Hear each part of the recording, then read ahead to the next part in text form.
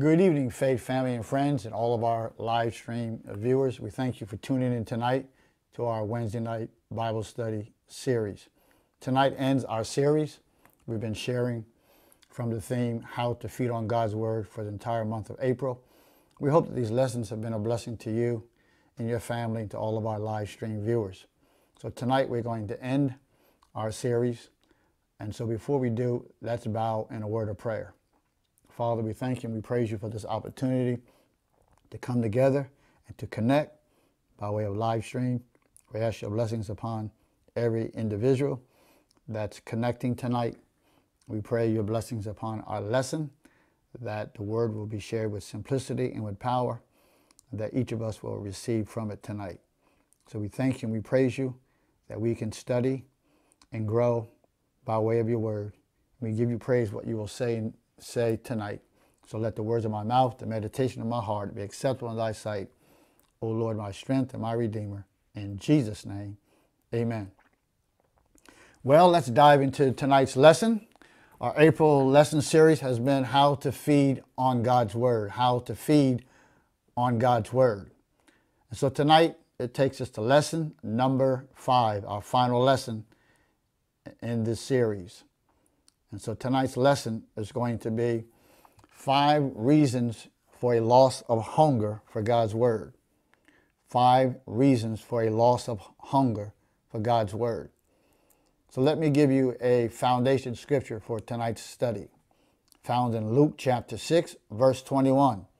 Simply says, Blessed are you who hunger now, for you shall be filled. Blessed are you who hunger now, for you shall be filled. That's Luke's rendition of chapter uh, Luke chapter 6 verse 21. And so hunger is a good sign of a thriving Christian. Did you know that? Hunger is a good sign of a thriving Christian. Any Christian that's going to thrive and grow and develop to be all that God intended and planned for us to be must thrive and must hunger for the Word of God.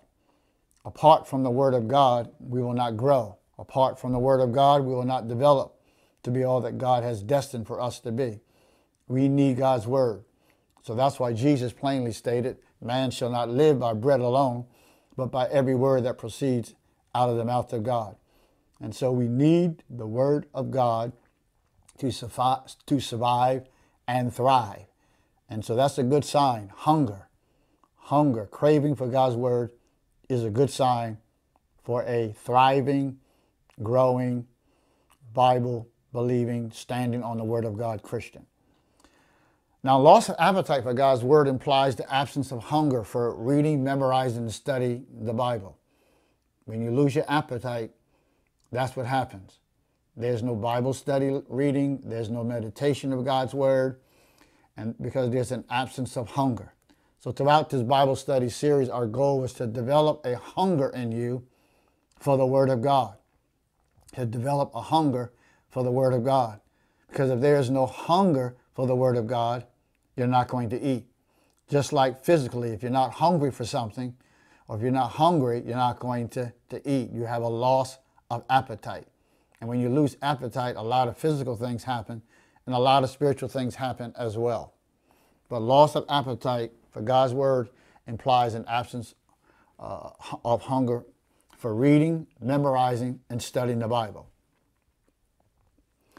Now, lack of desire for reading God's word may result in stunted spiritual growth, weakened faith, and disobedience to God. When we fail to read the word of God, it's going to result in what I just stated. Uh, there's going to be uh, you're going to, your faith will be weak. You'll be in disobedience to the Word of God, and there'll be stunted spiritual growth. You'll be the same size spiritually that you were last month, last year, or two years ago. In order to grow in the Word of God, there must be a constant feeding on the Word of God. So tonight I want to share with you some, and some reasons for loss of appetite for the Word of God. There has to be some things that are getting in our way that's causing us not to study, not to meditate and read on the Word of God. So I want to identify with you tonight five reasons uh, and present that to, you as to why we lack hunger for the Word of God. Six reasons for loss. I said five, but six reasons for the loss of appetite for God's Word. You see, a reduced desire to feed on Scripture includes several things. So that's what I want to discuss tonight. A reduced desire to feed on, on the Scriptures includes several things. Number one, it includes ignorance. That is a lack of knowledge. That is a lack of knowledge. Many believers do not understand the need for strengthening the relationship with God. They figure they can do it just by going to church occasionally, by praying to God occasionally, and reading the Bible occasionally. And so, as a result of that, they are ignorant of the Word of God, the way of God, and the will of God. If you want to know God's Word, God's will, and God's way for your life, and what God is speaking, what God is saying today, you need to stay informed and stay in touch. And one way to do it is through the Word of God. The prophet Hosea, Hosea declared in chapter 4, verse 6, My people are destroyed for lack of knowledge. Because you have rejected knowledge, I also will reject you from being priests for me. Because you have forgotten the law of your God, I will also forget your children. Notice it's passed down to generations. If the fathers and the priests are not feeding on the Word of God, then it's going to affect their children or the next generation.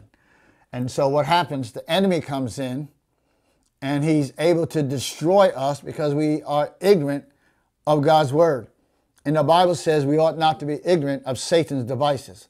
So some way, so some, so the way to stay on top of things and the way to have an edge over the devil and over life circumstances is that we need to be truly informed of what God says in His Word, what God promises in His Word, and what God will do and will not do in His Word.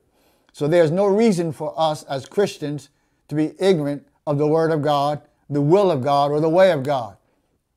So spending time in developing an appetite for the Word of God will erase this ignorance. It will cause us to be smart. It will cause us to become wise in the things of God. So, one of the reasons why our appetite is reduced is because of ignorance. Either we don't know or we don't want to know. And so we get ourselves involved in a whole lot of other things except for the Word of God. And so, to build up our appetite and wanting to know the things of God, we need to get into the Word of God.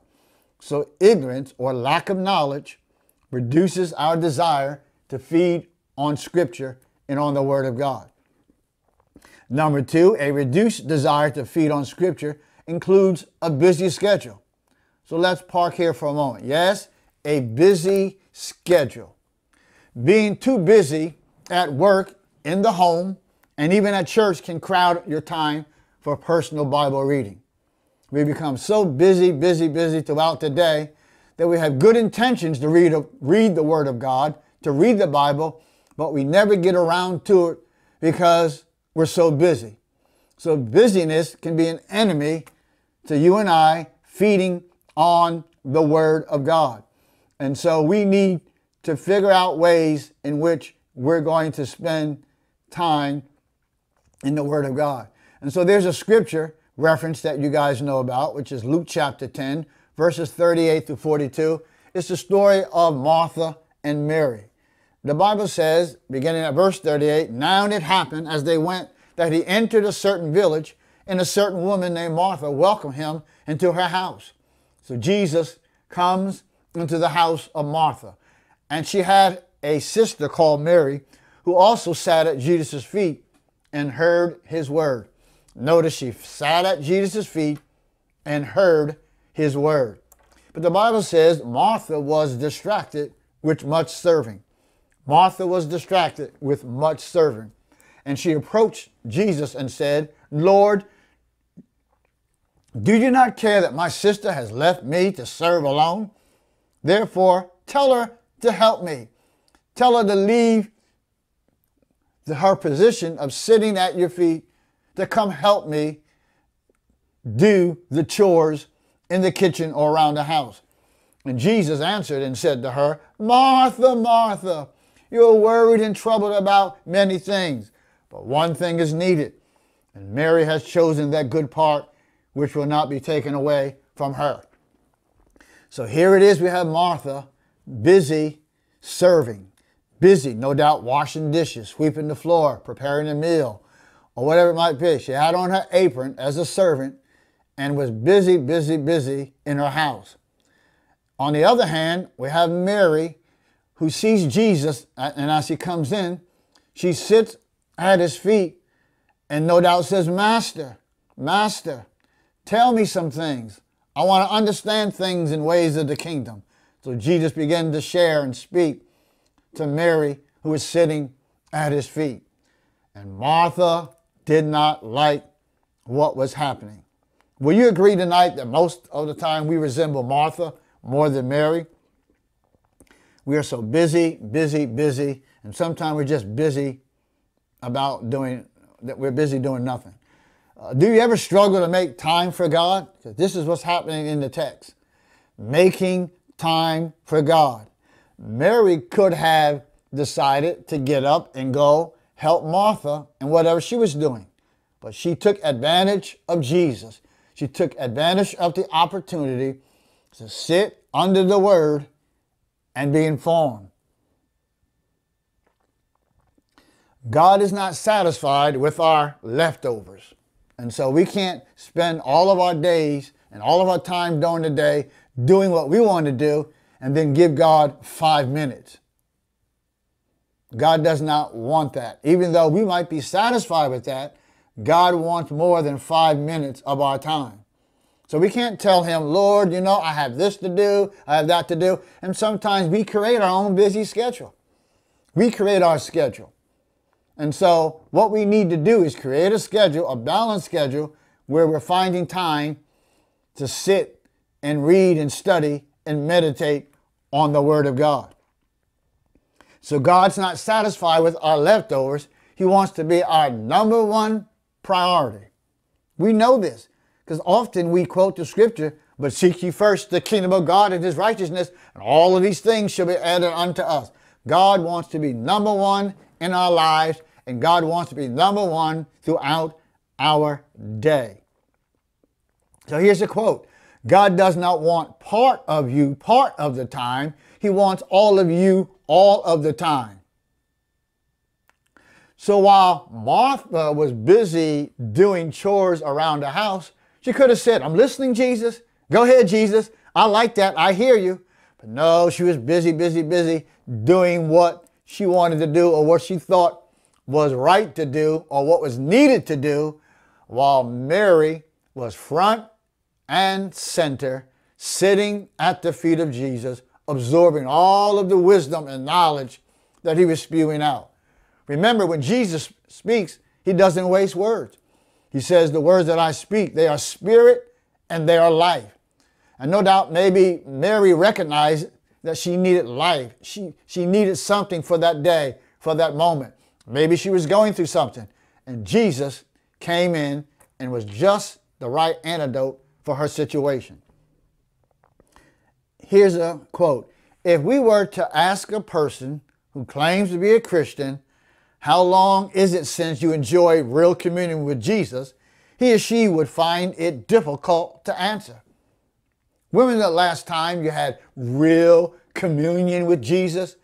When was the last time you really sat down and laid aside some time to spend time in the Word?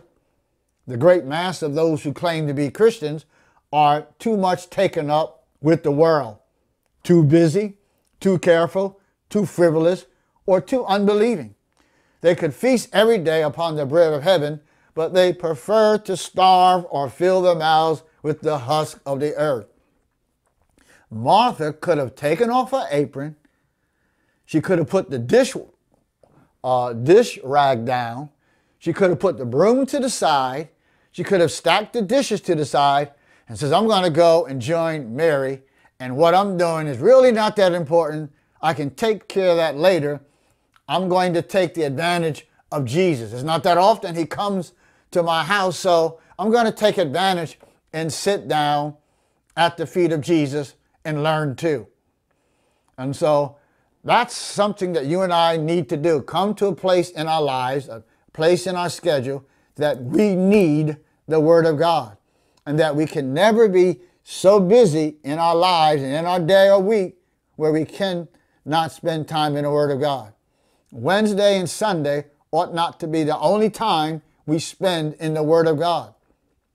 We need to create a daily schedule where God is speaking to us. And so, number three, a reduced desire to feed on Scripture includes trouble and or persecution. Sometimes trouble or persecution or both can take us from the Word of God and cause us to lose appetite for the Word of God.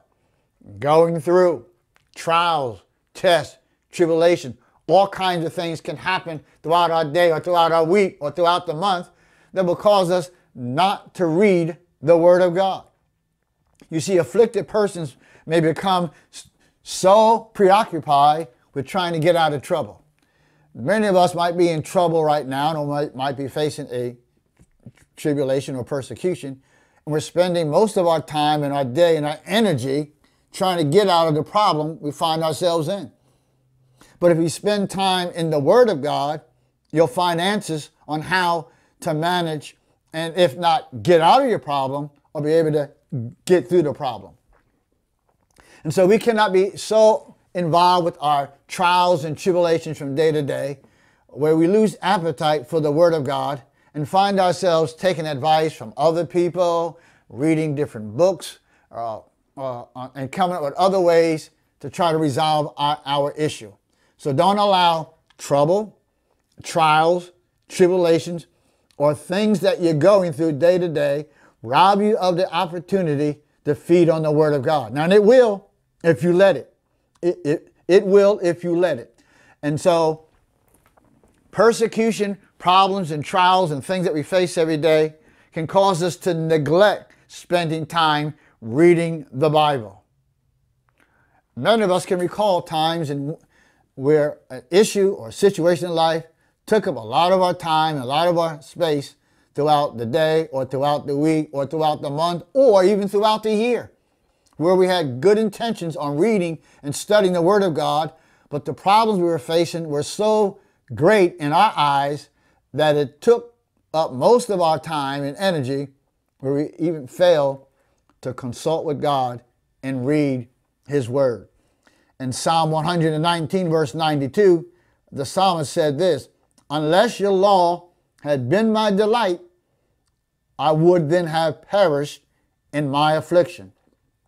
He said, The reason why I was able to survive through my tests, through my affliction, is because I spent time in your word. I delighted in your word.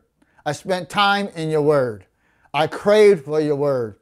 I made an opportunity throughout my day or my week to read and study your word. And because of that, when affliction and trials came in my life, it didn't take me down and take me under. Do you know if you allow it, your problems, your trials, and the tribulations you're facing in life can take you down and take you under? Where you neglect God altogether, neglect worship, neglect reading and studying God's word. So the psalmist says, Unless your law had been my delight, if I wasn't spending time in the word of God, this situation would have, would have taken me out. But because I love your law, because I spent time in your word, I was able to get through that situation. So tonight, let that be our claim. Unless your law had been my delight, I would then have perished in my affliction. And so here's a, here's a quote Grace grows best in winter. Did you get that? Because in winter, things become uncomfortable. It's cold, it's windy, uh, uh, uh, there's a lot of, uh, you know, darkness and, and, and, and, and just a lot of people, I don't like winter, but during the winter time, a lot of things become uncomfortable and, and there's a lot of discomfort. Uh, it gets dark early. Uh, there's a lot of rough uh, weather that you experience.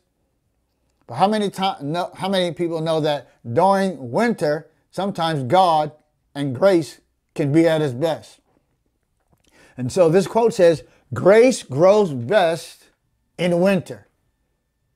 Grace grows best in trials. God's grace grows best when we are facing difficult moments if we handle them properly. The Apostle Paul put it this way that your grace is made perfect in my weakness. When I am weak, then I am strong. God is able to demonstrate His grace and His glory in our lives if we allow Him to when there's persecution and affliction. When we spend time in God's Word, when there's persecution and affliction, God will reveal things to us. God will show us things. God will strengthen us. God will revive us while we're spending time in, in His Word to get through the persecution and the trials and the tribulation. So I would suggest to you tonight don't allow persecution and trials and problems and conflict and affliction take you away from God's Word, cause you to lose appetite for the Word of God. Another quote says, Many men owe the grandeur of their lives to their tremendous difficulties. That's Charles Spurgeon. Many men owe the grandeur of their lives to their tremendous difficulties. Many people are where they are today from a positive standpoint. Many people are enjoying life because they were able to get through difficulties. And during their season of difficulties, it made them stronger, it made them wiser, it made them read and study the Word of God. Because all because of they were able to go through the valley of the shadow of death and come out of it, it put them in a greater position and, a, and, and gave them greater opportunities. And so many men owe the grandeur of their lives to their tremendous difficulties. I hope that you can reflect upon your life and see where difficulties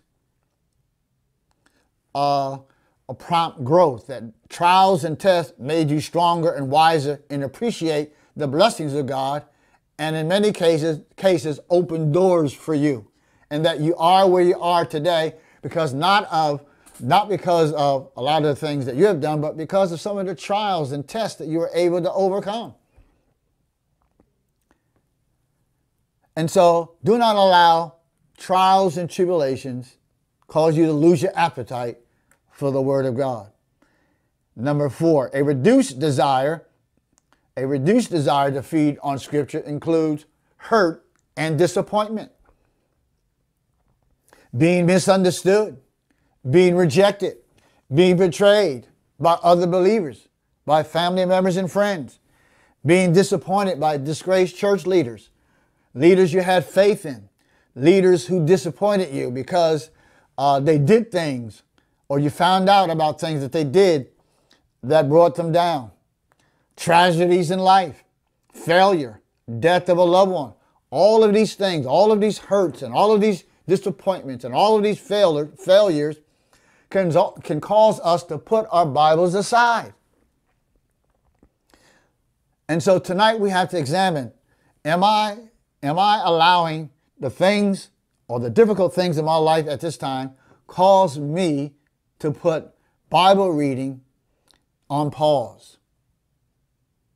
Here's an interesting uh, passage of scripture about Peter. You know Peter, who was one of Jesus' closest disciples, one of his right hand men, the, one, the disciple that took up for Jesus, that stood up for him.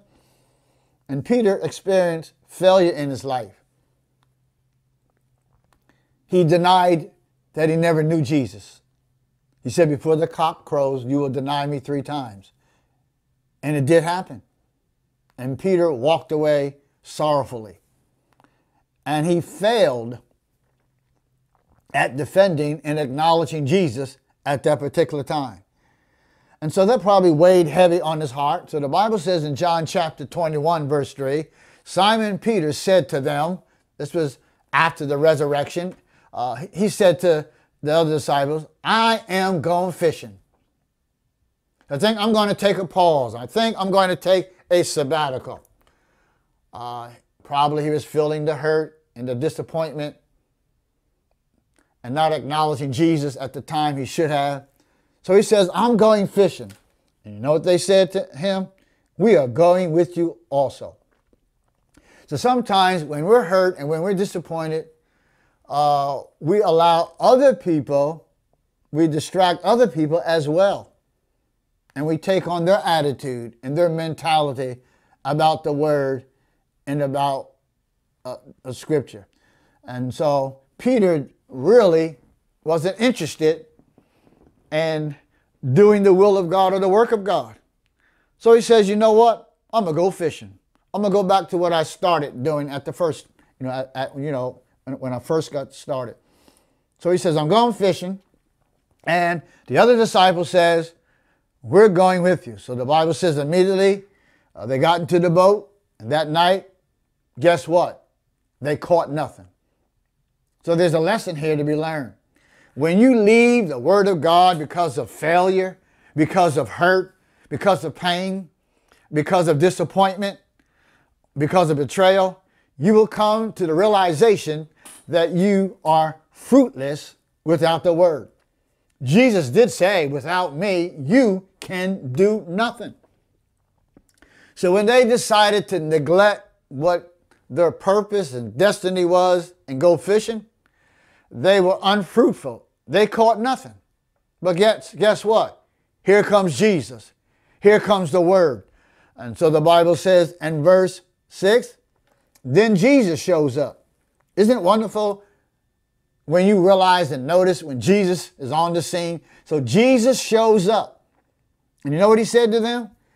Cast the net on the right side of the boat. Cast the net on the right side of the boat, and you will find some. You'll find some fish.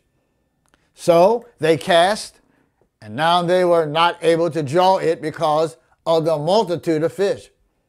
You see, Jesus knows where the blessings are. He knows where the answer, what, what, what the answer is to your situation. So here they were all night fishing, caught nothing, left the word of God, left the things of God, and they said within themselves, We're going fishing. We're going to put the kingdom on pause and we're going fishing. And as a result of doing that, they were fruitless. If you want, if you want your life to be full of fruit, if you want your life to be prosperous, if you want your life to be a life pleasing to the Lord, spend time in the Word of God. Feed on the Word of God.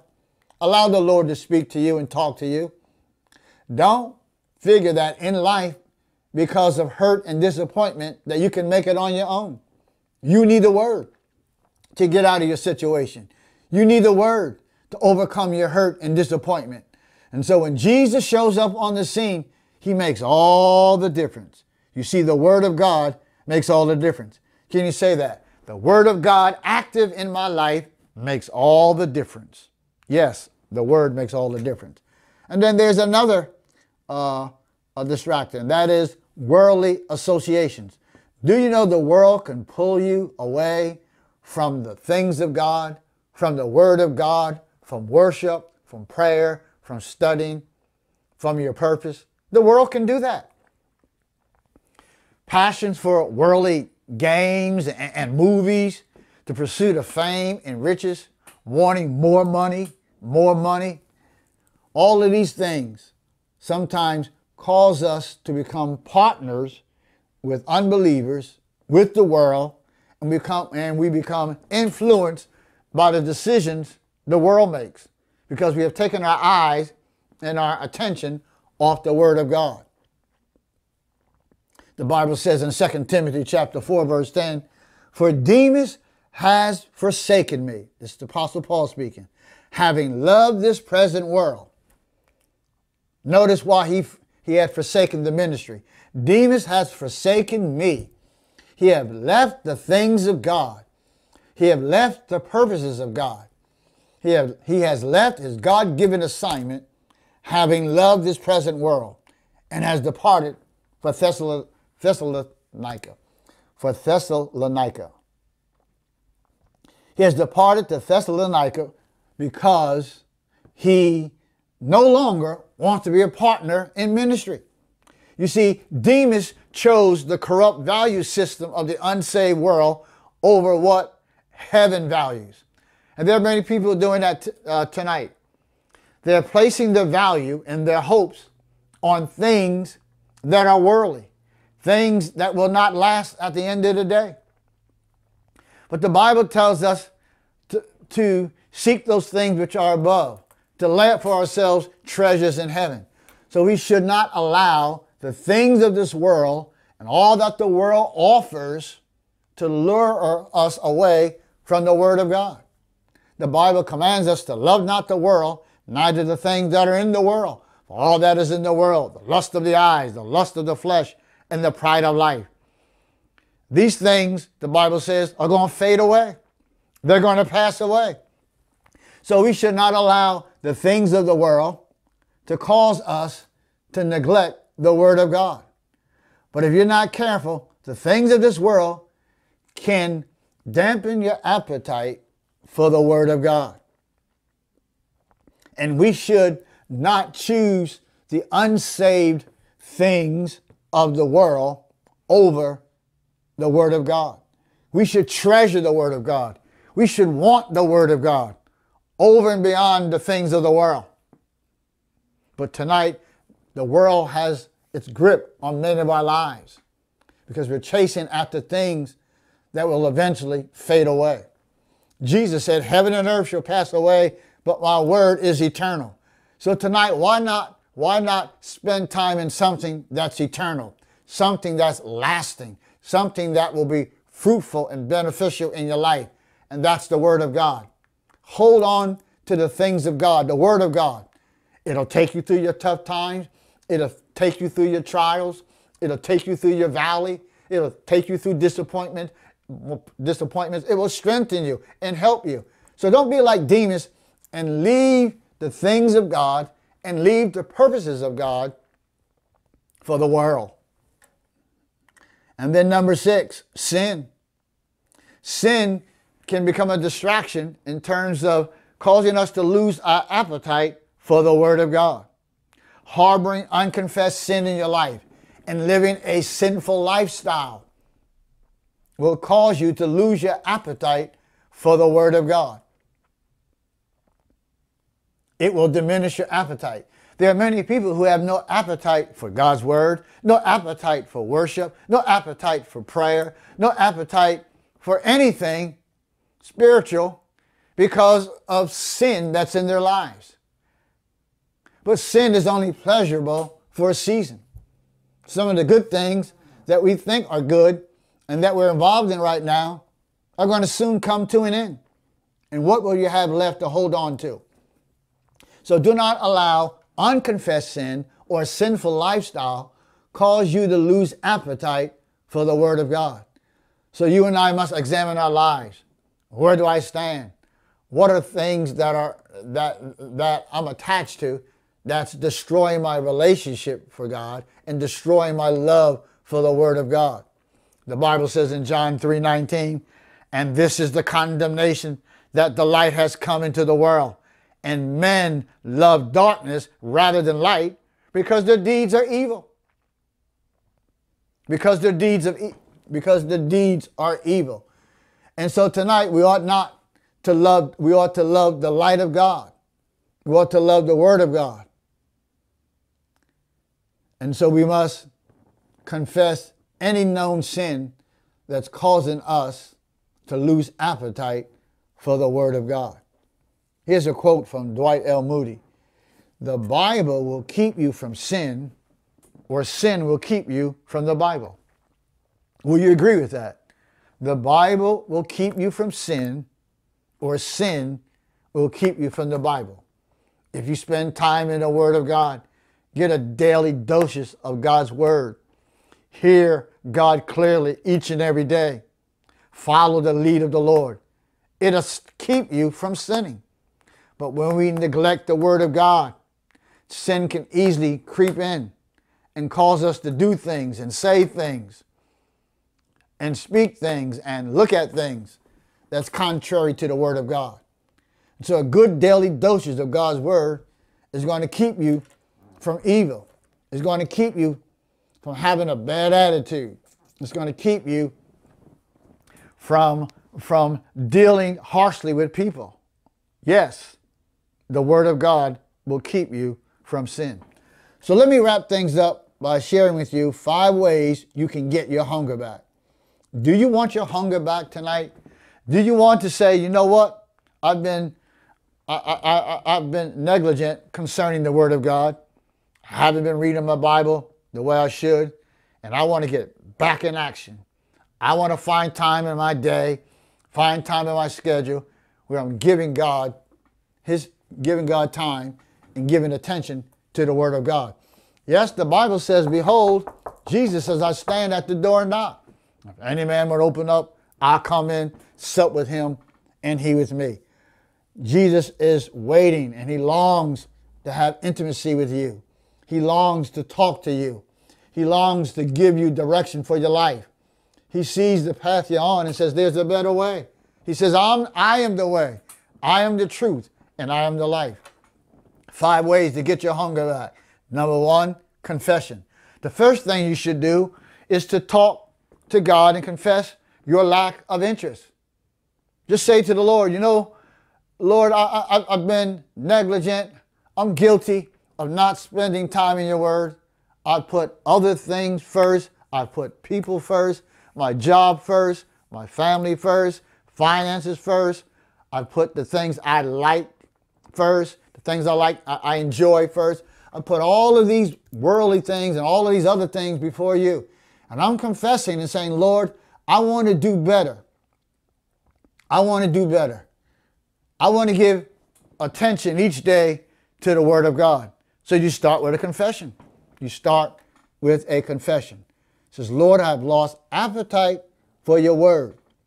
And in order for me to keep sin out of my life, in order for me to be able to live a victorious life, I need to get back into the Word. And then we need to eliminate the unholy, the elimination of the unholy. You see, your loss of appetite for God's word is due to worldly associations. We spend a lot of our time in the world, of the world, associated with worldly things, worldly people, worldly ideas. So if we're going to get our hunger back, we got to cut some of those things loose. Ungodly associations, ungodly people, people and things that are draining our time and our energy, where we have nothing left for the Word of God or to spend time with God. So tonight, if you are associated with a lot of ungodly or unholy things that's pulling you, that's uh, that you are attracted to, you need to cut some of those things loose and say, Lord, I'm guilty of spending more time in the world and now I'm sounding like the world, acting like the world, living like the world, dressing like the world. And I want to get my hunger back. So I make a confession and then I eliminate the unholy. You see, if you allow the spirit of the world to dwell in your heart, it will control your life. If you allow the spirit of the world to dwell in your heart, it will control your life. The Bible says, Come out from among them and be ye separated, saith the Lord. For I am your God. And then we must make time for Bible study. That's how you get your hunger back. Make time for Bible study. So it's important to find moments in each day to read the Bible. So what you and I must do, go over our schedule. What does your schedule look like? What does your morning, your afternoon, and your evening look like? Where can you place time for the Word of God in your schedule. So make time. Good intentions will get you nowhere. You need to find a place and a space in your daily life to feed on God's Word. So you have to make time. Number four, want to get your hunger back? Participate in a Bible study group. Yes, participate in a Bible study group.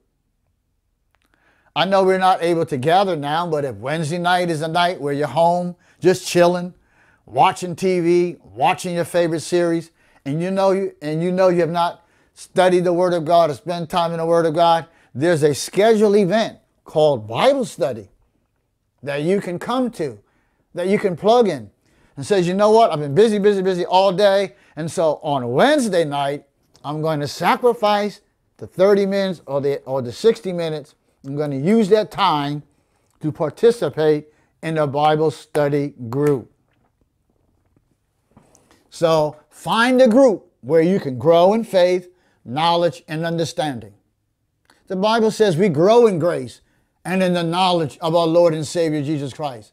So if you're going to grow in the knowledge of Scripture, in the knowledge of God's Word, in the knowledge of Jesus, you need Bible, you need the Bible and you need to study.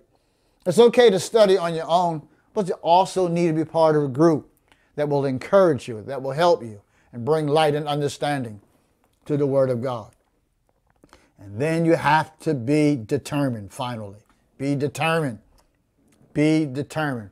I'm going to do this. I'm going to get started. Matter of fact, I'm going to start today. I'm going to start tomorrow. I'm going to look at my day tomorrow. I'm going to say, I'm going to do this. I'm going to give God a portion of my day, a portion of my time where I'm going to spend time in the Word of God. I'm going to find me a place, find me a spot where I'm going to take out my Bible, read and meditate on God's Word. I'm not going to neglect it any longer. I'm going to be determined to do that.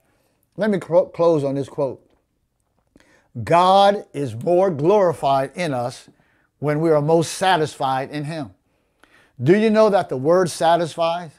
And the more word we get, the more happier we're going to be, the more fuller we're going to be, the more delighted in the things of God, the more we want to do for God. And when we allow the word to satisfy us, then God gets glory out of our lives. God wants to promote us tonight from glory to glory. And the way to do that is to get in the Word of God, not only hear God's Word, not only read and study God's Word, and then you live God's Word. And when you live out the Word of God, you're satisfied and God's glorified. Amen? So this concludes tonight's Bible study for the whole month of April. We've been sharing on how you can feed on the Word of God. And tonight's lesson uh, reminds us things that can rob us of our hunger for the Word of God. And I hope that these lessons tonight, uh, this lesson tonight, and the lessons throughout the month of April was a blessing to you. And as a result of this, you're going to make space and time for the Word of God. Father, I thank you and I praise you for this study. I pray that something was said during this month that will help all of us realize where we are with you and where we need to go. So, Lord, speak to our hearts and help us to grow in the things that you desire for us to grow in. Help us to open the Bible because we know when the Bible is open, you speak. And when we close the Bible, you stop speaking to us. This is our prayer. In Jesus' name, amen. Now, our lesson theme for the month of May is how to handle fear. So I want you to prepare your heart and your mind for May's month Bible study. Are you infected by fear? Well, I want to give you some practical tools and strategies on how to handle fear. So that will be our Bible study theme for the month of May. How to handle fear. And what better time to talk about fear during this COVID-19 pandemic. So, if you enjoyed the month of April, Get ready for the month of May. And until then, may God bless you and may God keep you, is our prayer.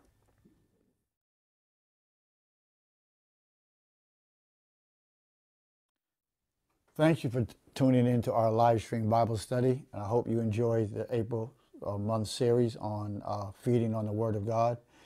And so I hope you get ready and geared up for our next uh, theme for the month of May. So thank you, all my live stream worshipers and uh, viewers, along with the FCOC membership. Thank you for tuning in for the month of April. I pray that you were blessed by the Word of God. Let me give two brief announcements. Number one, our Beauty for Ashes uh, Grief Share Support Ministry will have their uh, spring session, the first one, May 2nd. That's this coming Saturday at 10 a.m. You can go to the uh, church's website for more information. Again, you can also invite a friend, text a friend, email a family member, someone who's grieving loss, especially during this uh, season, COVID 19. Many people lost family members and uh, friends. And so you can invite them to participate in our uh, online uh, Beauty for Ashes Grief Share Support Ministry. I hope that would be a blessing to them. And secondly, we want to thank you for your financial uh, donations, your tithes and offerings, and your $69 seed offering. We appreciate those who sacrificially gave uh, this past week. If you didn't give, you still have an opportunity to do so. You can uh, share your tithes offering and your seed offering uh, on our Givelify app, our church website, or you can mail your check to the Faith Christian Outreach Center, our, our church address. Again, we thank you for your support for the uh, entire month of April that we've been live streaming. We hope that you will continue to support us as we move into uh, the new month of May. May God richly bless you. And until next time, be safe and be well.